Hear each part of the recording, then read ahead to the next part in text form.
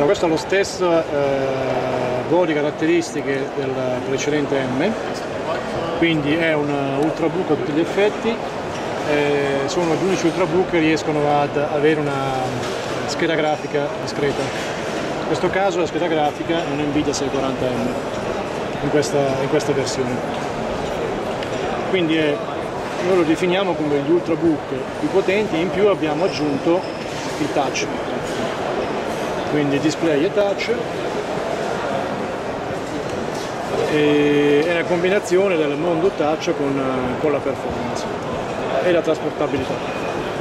Questa è la versione V con la touch, eh, non è un ultrabook per il semplice fatto che è 2 mm più alto rispetto all'M, quindi esce di circa un millimetro dalle specifiche interne, però il concetto rimane, rimane quello, leggermente più, più pesante.